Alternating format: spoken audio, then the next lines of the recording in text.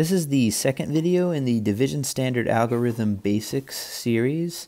In this video, I'm going to be focusing more exclusively on the standard algorithm itself uh, and breaking down the easy steps that you need to learn and remember in order to be able to solve uh, division problems using the standard algorithm. So uh, I'm going to demonstrate with the problem 96 divided by 4. So uh, in this problem, first I need to write the problem in the standard algorithm form. And I'm going to put the dividend, which I'm going to underline in green here, the dividend, uh, inside of this little, you know, half a rectangle here. And I'm going to put the divisor, which I'm going to underline in blue, on the outside. So this problem I would read 96 divided by 4. Kind of read it from the inside out. Uh, and so the first step when we're solving the uh, division problems with the standard algorithm is we're going to need to do some division. It seems kind of silly to say, but we are in fact going to need to do some division. But we're not going to tackle this whole big number 96 all on its own. We're going to focus only on specific place values one at a time. So we're going to start at the largest place value, which is the tens right here. And the question we need to ask ourselves is what is 9 divided by 4. So we're thinking in our head, hmm, what is 9 divided by 4? Another way you can think of this is how many groups of 4 could I make if I had, like, let's say, 9 dots? Okay, so we can picture that in our head. One other way we could think of is how close can we get to 9 making, uh, or with multiples of 4 without going over? So in this case, if I look at my multiples of 4 right over here, I see that, well, one group of 4 is 4, two groups of 4 is 8, and 3 is 12. 12 is too much, so can't be three groups. So it looks like it's going to be two groups of 4. So I can go ahead, and since I can see that I can make two groups of 4 uh, fit into 9, I'm going to write that 2 above the 9. Now when we're doing the standard algorithm, it's really important that we keep everything in place value order. So the 2, since I divided 9 divided by 4, and I can make, and it's 2, and with some left over, I'm going to put the 2 right above the 9. So uh, that was the first step, is dividing. So I'm going to erase all this uh, memory stuff that I had here. Let's see if I can get that out of the way.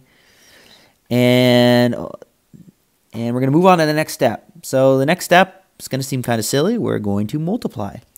So we're going to multiply this 2 times our divisor 4. And this is going to tell us how many of the tens we were able to put into groups. So 2 times 4 in this case is 8. So if you're familiar with your multiplication facts, uh, that part's going to be pretty easy for you. So the next step is we are going to subtract. We're going to subtract what we had, how many tens we had previously, which was 9 right here, and we're going to subtract this 8 that we were able to put into groups. So 9 minus 8 is 1. And we're almost through the whole process here because the last step is we are going to bring down the next place value. So we're going to bring down the ones place here and write it next to this 1 that we had left over. And so now what we're going to do is we're going to start this process over again going to draw some nice beautiful arrows there to show that we're starting over. So once we bring the next number down, we start back at the top, right up here with dividing. Except for this time, we're going to look at, we're going to use this full number right here, 16, uh, to divide. And so we ask ourselves, well, how many groups of 4 can we make with 16? Or what is 16 divided by 4? And the answer to that is 4. And so we've done the division, so now we're going to multiply. So we're going to need to not multiply 2 by 4, but we're going to need to multiply, let's see if I can get this out of the way. Great. Uh, 4 by 4 this time. So we're multiplying 4 times 4. In that case, that's 16. We're going to write that below what we had before. We've done that step. Now we're going to subtract. 16 minus 16 is 0. And the last step here is, is to bring down, but if we look right here, there's nothing really to bring down, so we know we're done for right now. So in this case, we have a 0 right here. So since we have a 0, that means that we were able to divide 96 by 4 evenly, so there's nothing left over. So we have an answer, or a quotient, of 24. So let's do one more example here, and I'm going to kind of go through the steps a little bit quicker, um, talking through them as I go. So uh, let's make up a problem here really quick. I'm going to do a two-digit divided by a one-digit. Let's do 73 divided by uh, 2. I wanted to, I'm going to, this problem is going to have a remainder so we can see what happens when we have remainders. So I'm going to rewrite the four steps next to the problem here so I can always remember what I'm going to be doing when I'm doing the standard algorithm. So now I'm going to write this in the standard algorithm form, 73 divided by 2, the dividends on the inside, divisors on the outside. So I start by looking at this 7 right here. So I, and then I ask myself, hmm, what's 7 divided by 2? Or another way of thinking of that is how many groups of 2 could I fit into 7? And if I think about that, I can make three groups of 2. It's not exactly even, but I can make 3 because 4 would be too much. So I've done my division. Check. Uh, now I need to multiply. So I'm going to multiply, in this case, 3 times 2. 3 times 2 is 6. So I've done my multiplication. Check. Now that I've done my multiplication, I need to subtract. So I'm going to subtract 7 minus 6. That gives me 1. Did my subtraction. Now I'm going to bring down the next place value, the 1's place. So I bring this 3 down next to the 1. Check. So that I've done that, I'm going to go back up to the top and I'm going to start again. So I'm going to start this process over one more time, except for this time, I'm going to be looking at the number, using the number 13, not the number 7.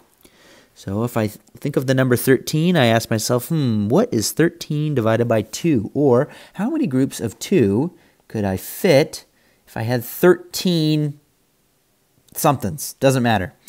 So when I think about that, I think, hmm, well, I can make six groups of 2 And that fits into 13 without going over, so I've done my division.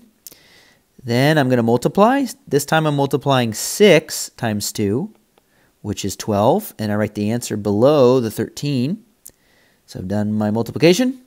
Now I'm going to subtract. 13 minus 12 is going to be 1. Did my subtraction. I look over and there's nothing right here, so I don't have anything to bring down, so I know I'm done. So now, if you look at this problem here, unlike the last problem where we had a 0 left over, which meant it divided equally, 73 divided by 2 does not divide equally. So we have 1 down here. We can't make another group of 2 if we only have one 1 left. So in this case, that is going to be a remainder. So we write our remainder next to our quotient up top. And so we get an answer of 36 with a remainder of 1. So hopefully after watching this video, you feel a little bit more comfortable with the steps of the uh, division standard algorithm. So if you ever get lost or confused when you're working on your problem sets or uh, your homework or anything like that, you can always come back and watch this video uh, and refresh yourself on the steps for the division standard algorithm. Thanks for watching.